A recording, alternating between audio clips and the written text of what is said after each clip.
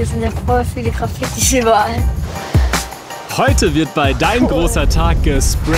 Wir erfüllen Kiels größten Traum. Rein in den Karton. Ich liebe dieses Geräusch, wenn das so tss und dann. Das macht einfach ultra Spaß. Hallo, ich bin Kiel und ich bin 10 Jahre alt. Ich bewerbe mich hiermit bei Dein großer Tag.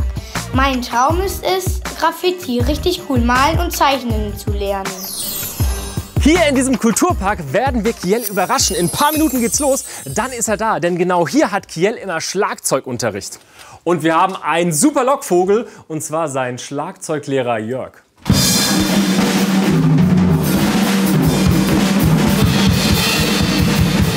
Okay, alles klar, alles klar, alles klar. Vielen Dank. Kameras sind versteckt, Jörg ist am Start. Warten wir auf Kiel.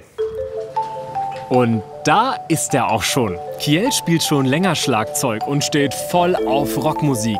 Davon, dass wir ihn mit versteckten Kameras beobachten, ahnt er natürlich nichts.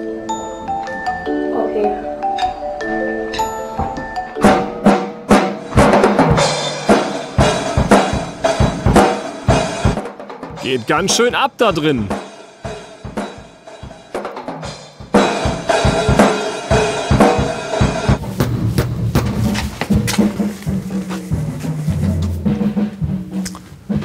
Hört mich nicht. Er spielt zu laut.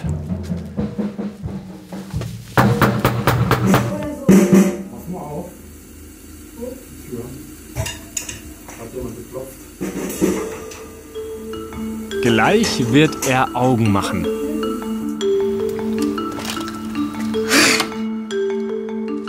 Hallöchen, guten Tag. Hi, Wie geht's? gut. Hi, ich bin Johannes. Äh, Hast du eine Idee, warum ich hier bin und die alle mitgebracht habe? Ähm, ja. Ich habe mich bei deinem großer Tag beworben.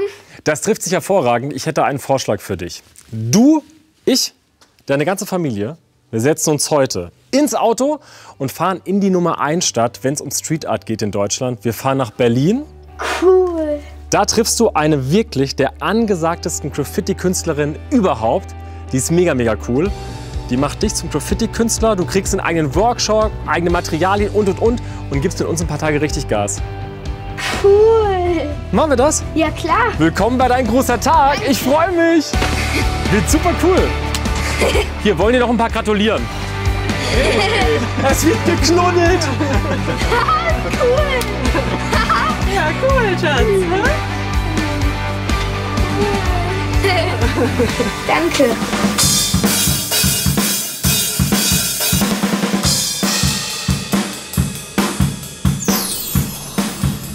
Zu Hause bei Kiel will ich ihn ein bisschen besser kennenlernen. Die Bilder habe ich auch mal gemalt. Die habe ich in einem Kunstatelier gemalt. Ach, krass. Ach, wie cool ist das denn? Der bist du, oder? Ja. Krass. Wie, hast du das an die Wand gemalt? Ähm, nein, das haben Profi ähm, Graffiti-Sprayer an die, an die Wand gemalt. Und ich bin Harry Potter-Fan, deswegen habe ich noch. Das ist der Schnatz, oder? Ja, genau. Ich habe gerade überlegt, wieso ist da der Schnatz? Ich hab's nicht verstanden. Hey, sogar die Lampe ist was. Schlagzeug.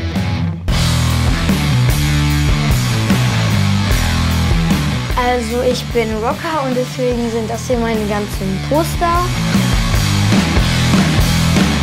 Warum bist du so großer Nirvana-Fan?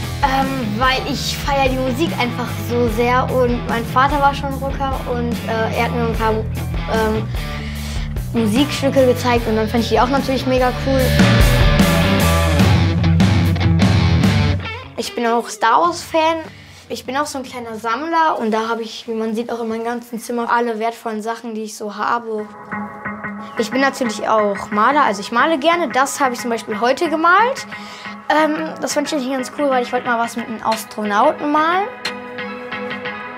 Ich mal schon gerne seit dem Kindergarten. Meine Oma, die war Künstlerin und äh, ich glaube, daher kommt's. Und ähm, Graffiti finde ich halt selber cool, das ist mein eigener Stil und ich glaube, daher kommt das. Und warum hast du jetzt gerade so richtig Lust auf Graffiti? Weil ich feiere das einfach, wenn da so auch einzelne so Punkte drumherum sind so und wenn es einfach echt aussieht und nicht so richtig so sauber, sondern auch mal so ein bisschen so schmutzig irgendwie so. Also das mag ich einfach.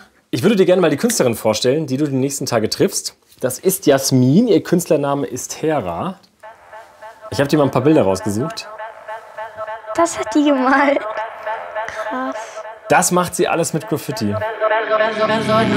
Hera ist ein Star der Graffiti-Szene und zwar international. An vielen Plätzen auf der ganzen Welt sind ihre Werke zu sehen. Ihre haushohen Figuren und Geschichten fallen einfach krass auf.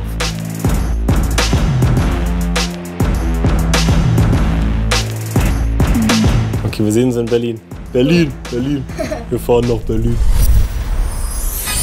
Nicht mal 24 Stunden später sind wir in der Hauptstadt angekommen.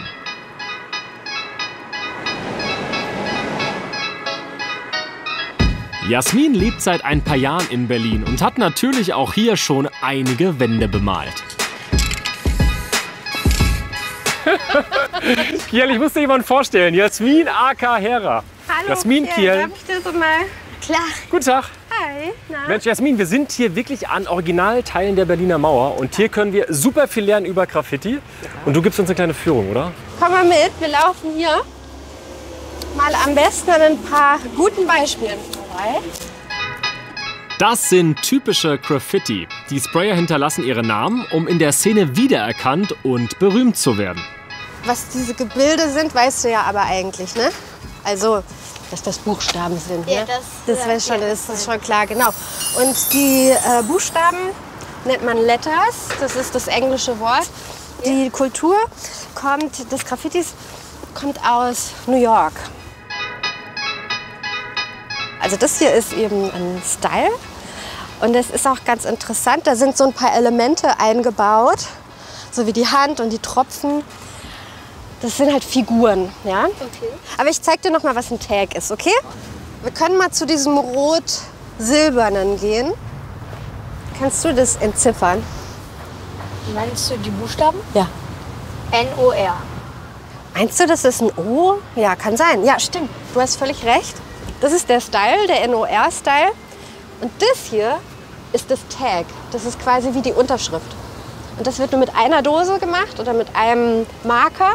Wenn sowas an die Wand gesprüht wird Ja. und dann liest du den Tag, dann weiß man ja im Grunde, wer es gemalt hat, oder? Oder wer es gesprüht hat. Ja, Okay.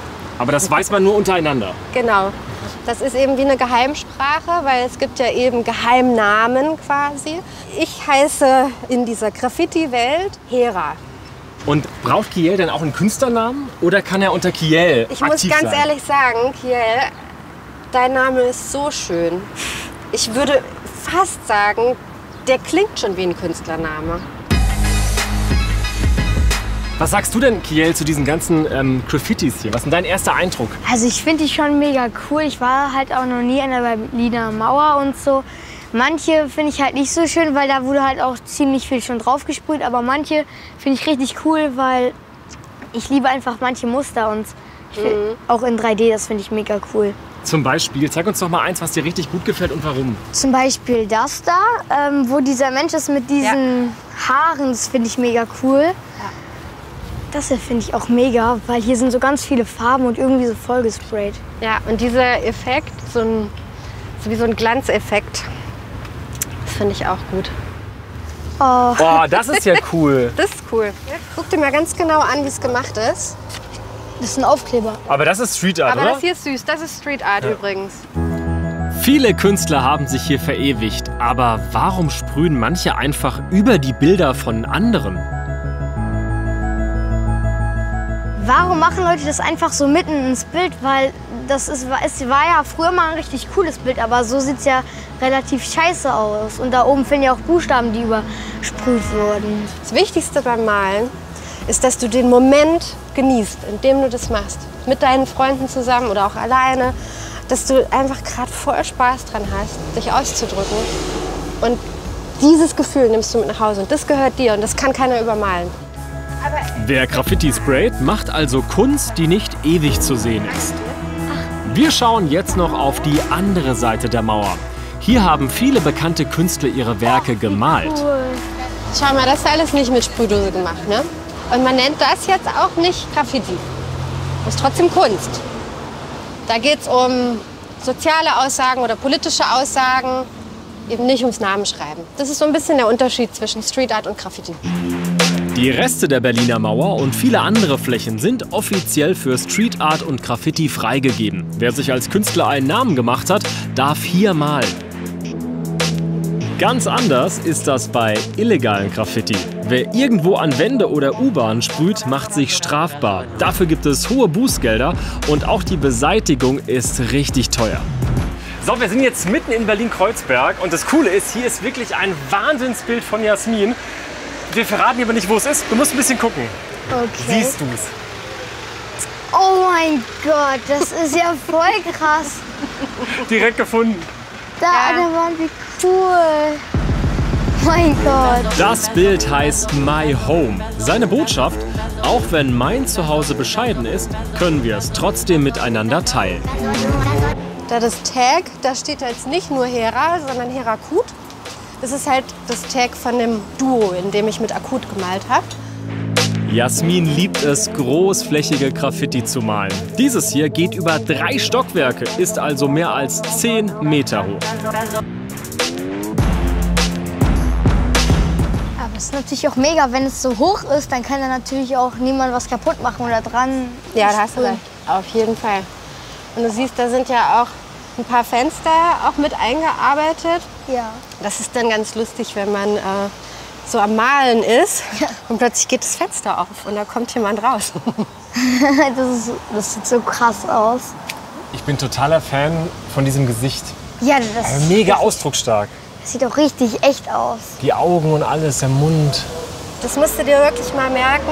Wenn man schon Gesichter malen kann, dann schau halt, achte drauf, dass die, dass die den Betrachter auch angucken. Dann hast du einfach noch mehr Chancen, den, den Betrachter zu erreichen. Okay. Und wenn ich so Sachen entwerfe, da benutze ich ganz viele Symbole, die mit der Stadt zu tun haben oder mit dem, was ich aussagen will. Und das Kind hat ja einen Pullover an. Kannst du erkennen, was das sein soll? Ein Bär? Genau.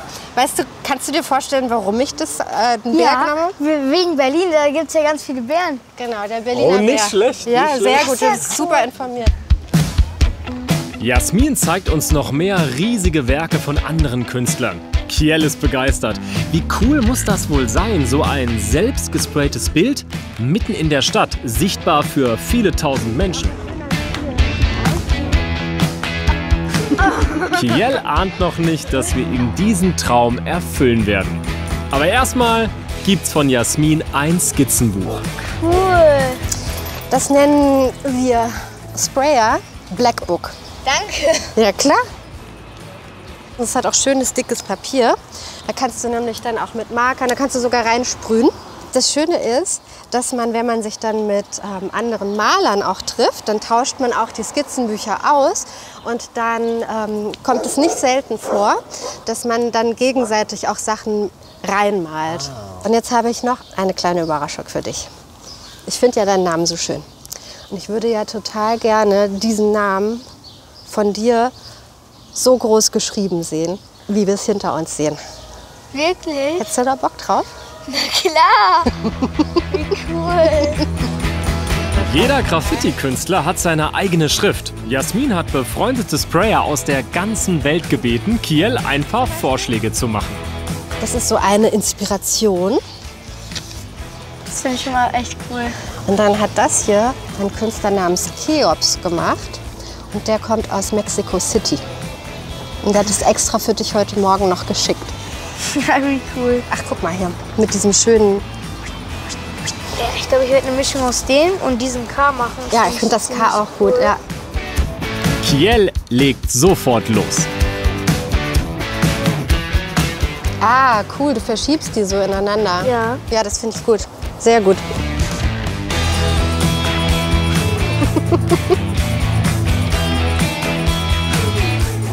Das ist total cool. Er holt sich Inspiration, baut aber seine eigenen Ideen mit ein. Das, ist, das macht Kreativität aus. Ganz viel sammeln und dann einfach gucken, was sich mischt im Kopf. Den Rest müsst ihr euch was überlegen. ist dein Lieblingstier? Ähm, Fisch ist halt auch mein Sternzeichen. Fisch. Also wir könnten einen ähm, Schlagzeug spielenden Fisch ja, das ist. noch einbauen. Das wäre nicht schlecht. Äh, vielleicht hat der dann noch so ein Nirvana-T-Shirt an. Oh mein Gott, wie cool wäre das denn? Das wäre lustig, Also der? Fisch spielt Schlagzeug im Nirvana-T-Shirt. Ja, klar. Okay, so das ist jetzt die, wie heißt die Bassdrum? Bassdrum? R-O. Rock. Aber der hat, genau, der hat so Spongebob, so Spongebob. Den rockenden Fisch übernimmt Jasmin. Der hat wahrscheinlich blaue Augen. So wie der Kerl.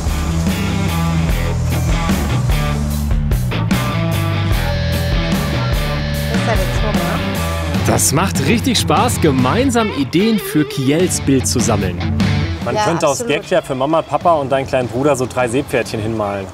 Oder drei Seesterne. Drei Seesterne. Ja, das ist auch cool. dass die unten links so einfach so hängen. rumchillen. Genau. Ja. Ja, So auf dem Sand so. genau, genau. Ja, ja, ja, genau, genau. Ich sehe es schon bildlich vor mir. Ach so, wir können uns noch mal kurz Gedanken machen, in welchen Farben das alles Mhm. gemacht werden muss. Wäre vielleicht nicht schlecht. Also das hier irgendwie so aquamäßig, so blau-grün Schreib das mal so. bitte dazu. Wie so eine Einkaufsliste. Alles, was ähm, warme Farben hat, also gelb, orange, rot, das sieht immer aus, als wäre es sehr viel näher dran. Es erregt mehr Aufmerksamkeit noch. Das heißt, wenn du die Sterne in warmen Tönen machst, ich glaube, das ist genau der richtige Weg. Und dann vielleicht auch hier noch so ein bisschen Rottöne rein. Ja, den, ja. Doch irgendwie so. Also rot, orange, gelb, aber hauptsächlich blau. Okay. Hier kriegen wir alles, was wir für Kiels Werk brauchen. Wir sind in einem der angesagtesten Shops der Berliner Graffiti-Szene.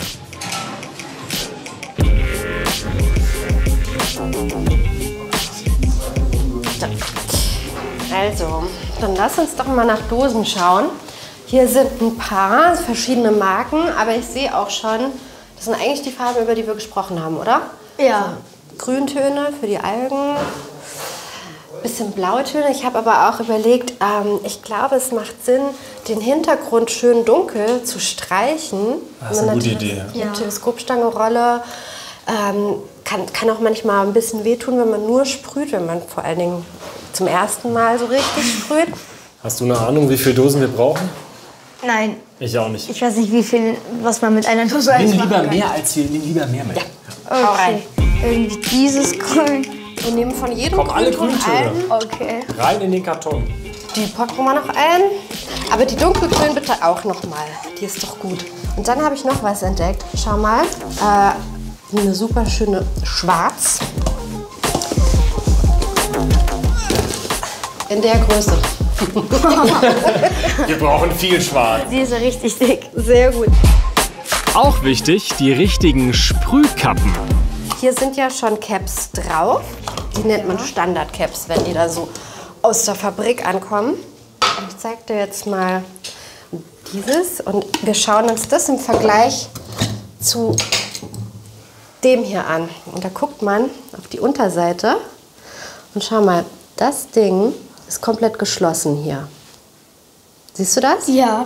Und das hier ist offen. Das bedeutet, wenn man diese Teile auf einer Dose hat, kommt bei dem offenen natürlich, wenn man draufdrückt, viel mehr Gas raus und viel mehr Farbe. Also die nennt man Skinny Caps, weil man damit ganz kleine, dünne Linien macht. Und die nennt man Astro Caps, weil man nimmt, macht man ganz riesengroße Linien mit. Dazwischen gibt es noch ähm, Fat Caps und dann gibt es noch so verrückte Sachen wie die da. Und die nennt man Rüsselcaps. Die so aussehen, wie, als hätten sie einen Rüssel dran. Damit hat Kiel alles, was er braucht. Fast. Es gibt noch eine Überraschung und zwar haben wir eben mit dem Chef des Graffiti-Ladens gequatscht. Der ist ein bisschen kamerascheu. Ja. Aber der hat gesagt, du bist der Künstlernachwuchs und du brauchst noch das richtige Outfit. T-Shirt 1 für dich. Cool. Darf ich dir das mal anhalten? Ja, sieht wunderbar aus. T-Shirt 2. Ja, falls du ein bisschen ins Schwitzen kommst. Und wir haben ihm erzählt, dass in deinem Zimmer schon ganz viele Nirvana-Sachen hängen und so. Der sagt, da muss ein bisschen mehr Graffiti rein, deswegen gibt es noch hier Poster. Cool. Das bist du perfekt ausgerüstet für morgen, oder nicht? Danke. Wir haben jetzt die Farben, Ja. wir haben das Outfit, Ja. Wir haben gebrainstormt heute, du warst wahnsinnig kreativ. Jetzt muss das natürlich noch an die Wand morgen. Und Jasmin hat sich einen super Platz dafür ausgesucht. Einer der, kann man so sagen, oder berühmtesten Plätze in Berlin. Ja, und vor allen Dingen auch der höchste. Der höchste. Auf dem Teufelsberg. Cool. Die verlassenen Gebäude auf dem Teufelsberg in Berlin sind eine der größten Street Art Galerien der ganzen Welt. Wer hier sprayen darf, gehört definitiv zur Szene mit dazu.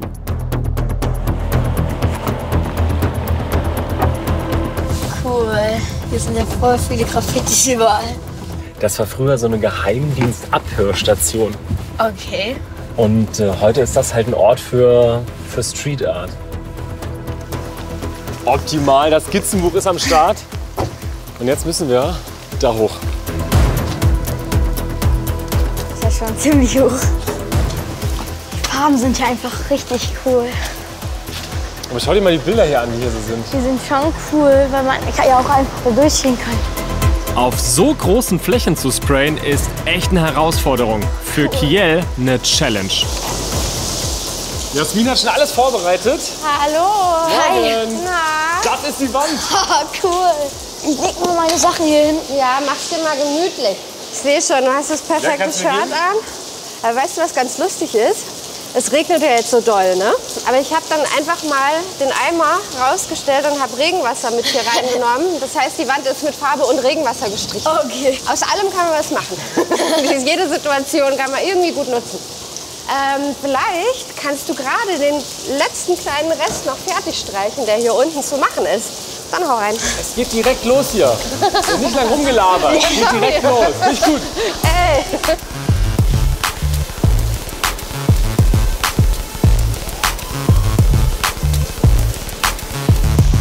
Fertig? Ja. Super.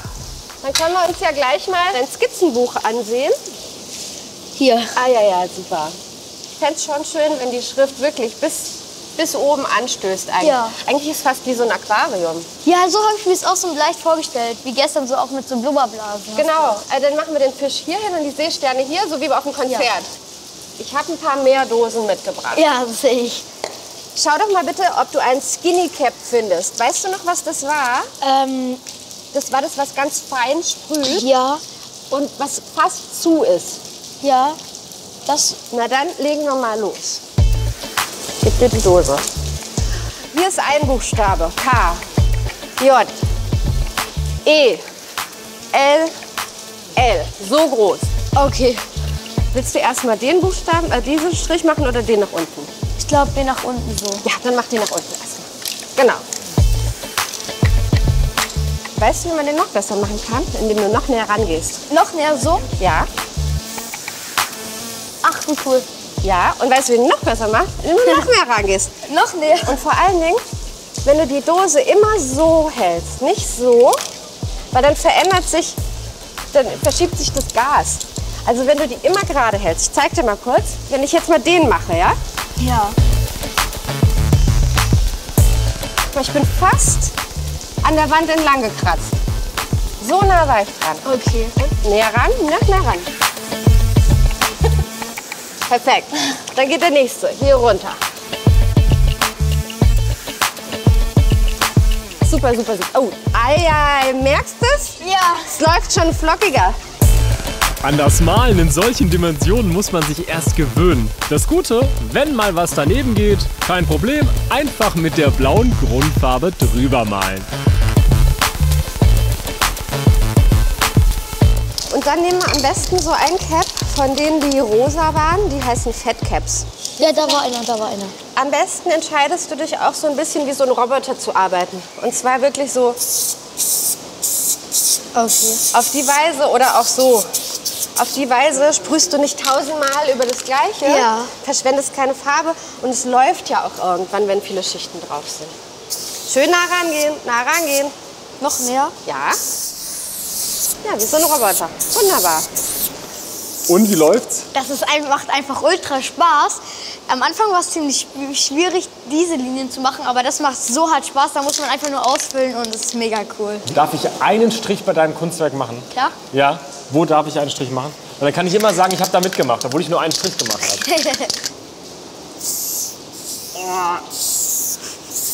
Fertig. Cool. Ja, das war jetzt mittelgut. Aber ich habe mich mit verewigt. Dauert das eigentlich, dauert das noch lang, bis das alles fertig ist? Hast du eine Ahnung? Also das Ausfüllen nicht, aber man muss halt noch die ganzen Details machen und so die Algen und so. Und das dauert dann schon eher lange. Ich habe das Gefühl, du bist voll in deinem Element. Das ja, macht dir voll Bock. es macht doch Spaß, weil Du bist auch total konzentriert und so. ich liebe dieses Geräusch, wenn das so tss und dann sprüht man alles. Ja, dann, dann hol dir mehr von dem Geräusch. Wir labern Ja. nicht mehr, es macht nur noch. okay. Damit es ein bisschen schneller geht, hilft Jasmin beim Füllen der Buchstaben mit. Sprayer arbeiten oft im Team. Jetzt werden wir nebeln. Das nennt man ja Fading. Shakest du das mal bitte ordentlich. Und da kommen dann die gelben Astro-Caps drauf, wo dann richtig viel rauskommt. Also jetzt mit, müssen wir ein bisschen Abstand. Im auch Gegensatz so zu weg? vorhin, genau, wir hatten ja ganz nah gesprüht, um die feinen Linien zu machen. Und jetzt wollen wir aber die, genau den gegenteiligen Effekt.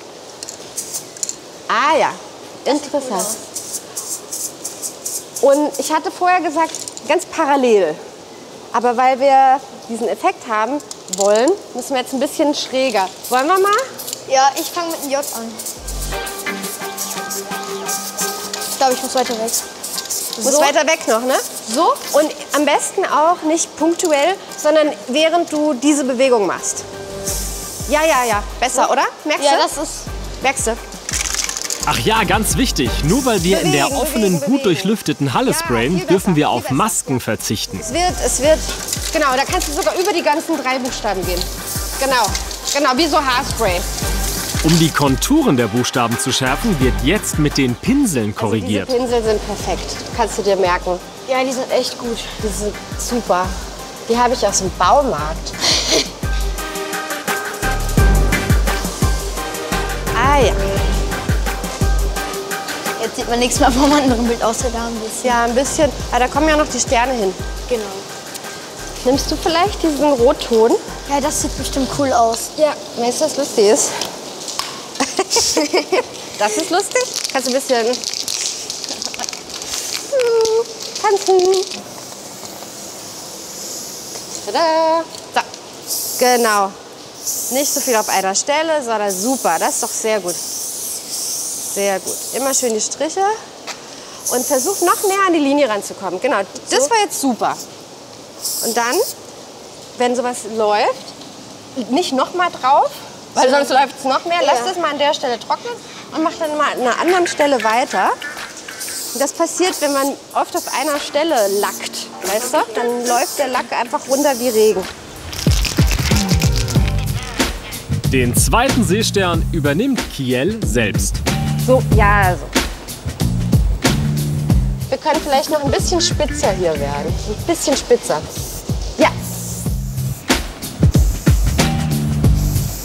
Ganz schön schwer, oder? Ja, langsam mit dem Finger auch. Weißt du, was der Unterschied war, als du das gesprüht hast und das? Überleg mal kurz. Das Cap. Aha. Dafür, sorry, ich wollte jetzt nicht fies sein, aber auf die Weise hast du gemerkt, dass es total sinnvoll ist, die Caps auszutauschen. Weil aus dem hier kommt einfach mehr raus. Und dann geht es auch einfach schneller. Drei Stunden arbeiten Kiel und Jasmin jetzt schon. Ich helfe ein bisschen mit.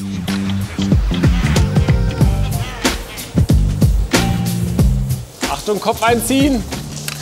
Ich ziehe den mal vor und du füllst den noch mal aus. Das E bekommt jetzt ein Auge. Aber mach nicht, dass es runterläuft, weil sonst sieht es aus, als würde er weinen. Okay.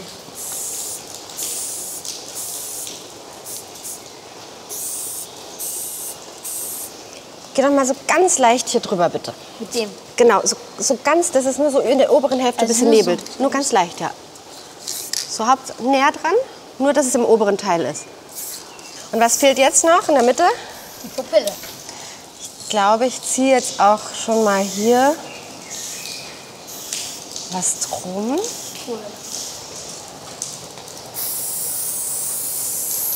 Jein. Mhm. das ist das Beste. Und guck mal, Ach ja, das, sieht, das ist das ist cool, oder? Ja. Und hier unten noch? Hier? Ja. Und noch ein bisschen so über das Grau. Bitte schön. Ja. Und du sprühst erstmal hier was drauf.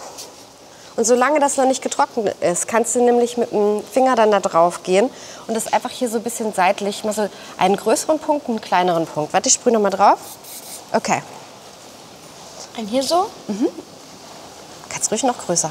Noch größer gehen. Ja, ja, sehr gut. Und noch ein bisschen rechts davon. Und vielleicht hier noch einen. Und?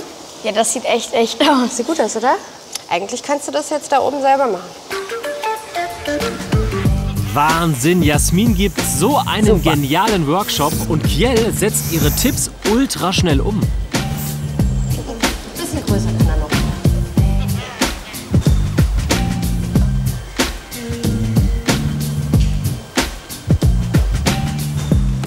Bist du eigentlich fast fertig, oder? Ja. Wir werden nur noch die Blasen machen, noch ein paar Algen und noch so ein Gesicht, ähm, die drei Seesterne und vielleicht noch ein bisschen Farbe für Schlagzeug und für den Fisch. Ja, sind noch so ein paar Kleinigkeiten, aber dann ist es im Grunde Auch schon fertig. fast perfekt, oder? Ja. Der Seite. Ich glaube, diese, diese Größe ist gut. Damit die Luftblasen schön lebendig aussehen, machen wir nicht nur eine Größe, sondern gleich zwei verschiedene Größen. Ist ziemlich schwer. Also mehr Druck drauf geben. So. Schablone Nummer zwei. Und mach die aber nicht komplett dicht, sondern wir wollen es ja so, dass es ganz leicht aussieht wie eine Blase, sondern nur an der Seite. So auf der und genau. Und wenn du noch weiter weg gehst, ist es noch leichter. Also noch, ähm, naja, noch mehr wie eine Luftblase. Und jetzt nur auf einer Seite und ein bisschen auf der anderen, ganz leicht. Und ein bisschen mehr. Okay, weil guck mal, wir nähern uns dem an. Das wird immer das leichter. Noch eine da. Du kannst auch mehr auf der Pappe sprühen. Okay. Wenn ich jetzt es leicht ansprühe, kannst du ja hier so links und rechts da die. Okay. Und noch eine dahin. Was soll ich sagen? Jasmin und Kiel sind längst ein perfektes Team geworden. Jetzt sieht es aus wie Sabber. nee, ist doch gut. Aber jetzt kommt Kiels Meisterstück, die Nirvana Bass Drum. Mach den Kreis nicht zu klein. Ich lasse es einfach offen, dann kannst du spicken. Ist gut. Also so, so Abstand oder Ja, und denk dran, wirklich ganz nah da dran, damit die Linie ganz fein wird. Also wirklich fast an die Wand.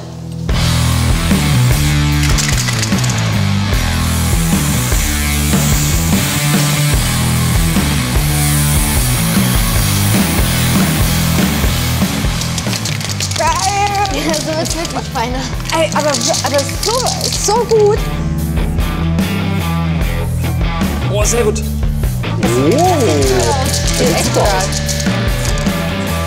Kiel wird immer mutiger, lockerer, fast wie ein Profisprayer.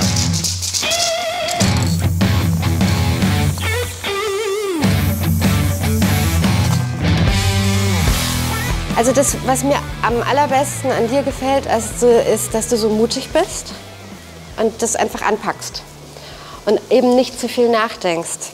Weil ähm, ich sehe es ja mit der Kunst so, dass das 90 Prozent Machen ist und 10 Prozent Gehirn.